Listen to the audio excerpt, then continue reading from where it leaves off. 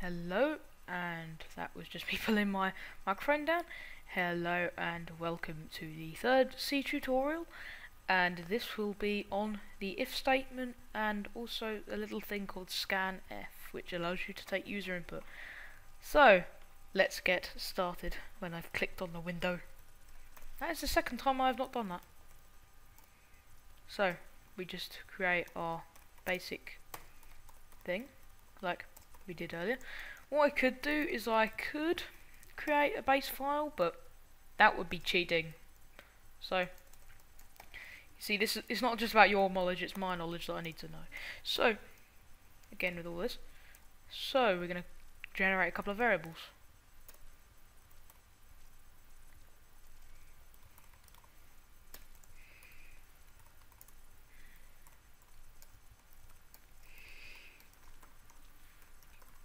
My fist initial. So, we've generated, we've created our variables here. We've we've defined them. Now, first of all, we're going to learn about a little thing called scanf. Now, what scanf is is it is a var it is a ver it's a function. I can't believe I keep calling them variables. That is stupid. So it's a function I know, I know, I knew to say function. I just said variables. So it's a function that allows you to take user input from our little console right here, and it's beautiful because it is very, very useful. It's probably one of the more useful commands in the C library, if not one of the most. So we declare it a lot different, quite a bit differently to printf in that what is in the parentheses. So I'm going to declare it so. Let's first of all ask our user what is their initial. That is what is their initial. What is their name rather? What?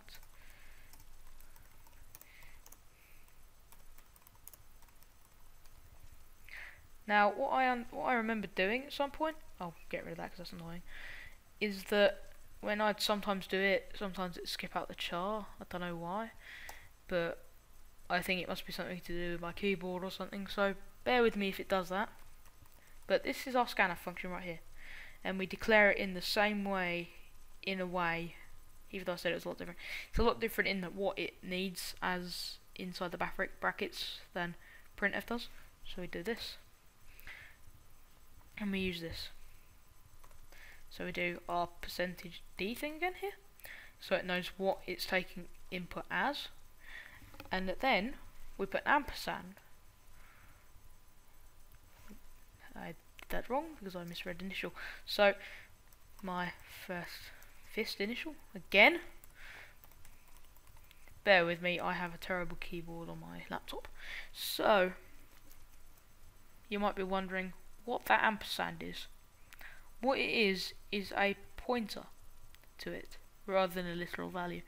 Now, what a pointer is is that it is if you imagine imagine like it's imagine your you know you've got say four or two or one or three gigs of RAM or whatever or perhaps 16 you have essentially that means you've got 16 say 16 billion little postal boxes that can have various addresses like if you imagine a incredibly long street. So what this pointer here does is it includes the address to one of these boxes and that is where our character is. So by doing this we are telling scanf here the address of our variable to modify. So it'll take the variable, pass it through the function and change our character here to equal that value. So that's essentially what that ampersand is. I'll get more onto pointers later on because they are annoying in a way. They, I mean, they're they're essential. They're essential to writing programs in C, but they can be, take a little bit of mucking around. I know that firsthand.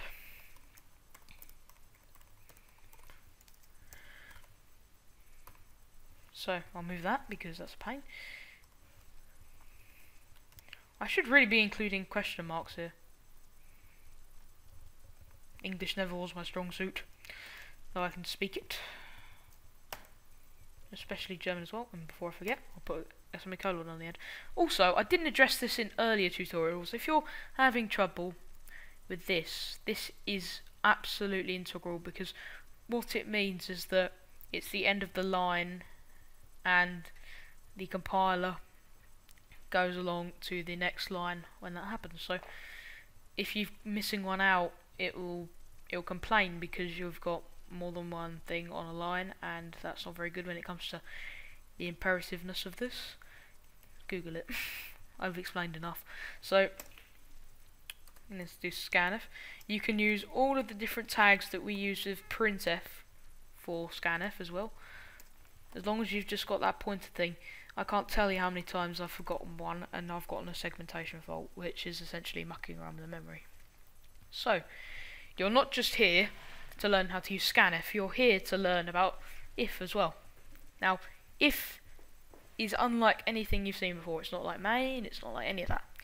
What it is is a it is a like a marker of something that can happen but won't necessarily will happen. Can't necessarily won't necessarily will happen. So it is conditional in a way. So not every child is five, so like a happy you won't have a happy fifth birthday regardless of your age, will you? So let's demonstrate this with our simple if statement. So if my age equals 5, note that I will talk about that in a second when I've explained how the if statement is working.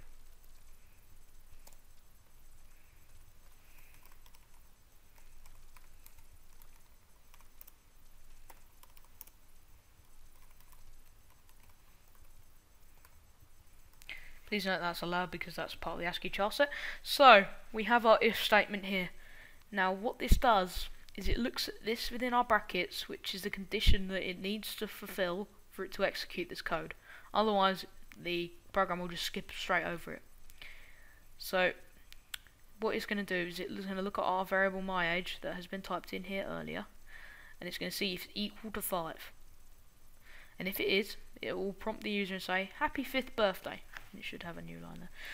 So, this here is very important because if you recall in the last tutorial, how you'd assign variables is just one equals. So to compare them, at least to see if they're equal, you do two equals. So, I mean, you might you, you now you say, oh, what about if I want to see if it's greater than equal to or all that? Now I think this is definitely primary school slash middle school or whatever you call it in America, elementary school sort of thing. So we do this, which obviously which obviously results in seeing if this is greater than 5, or this, which is when 5 is greater than it. We can do equals, which is like if our variable is equal to or more or less than 5. And then we have this, which obviously represents if my age is more than or or equal to 5. So, there's also one last one too, which is this, which means if our age isn't 5, note the exclamation mark, leave it at that. And you can do this with characters as well.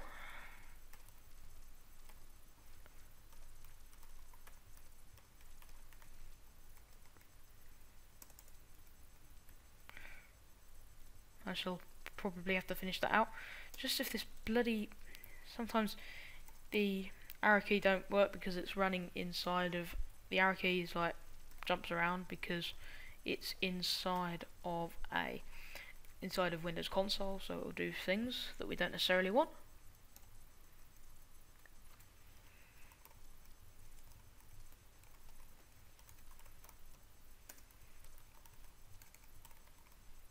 I'm sorry if your name isn't Charlie and it begins with C but I'm just making a gigantic assumption here so it's going to check to see if our initial is C.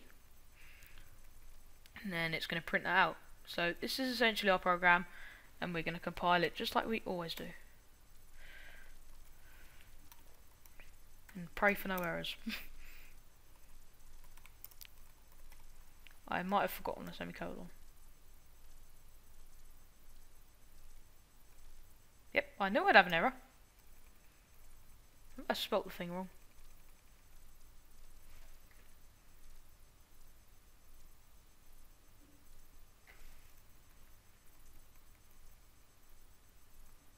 No, I didn't spell it wrong. I did. Yeah. These things happen to the best of us. And by the best of us, I definitely don't mean myself because I'm not. I'd be lying if I did. So yeah, that's compiled. So let's see our name is C and our age is 5.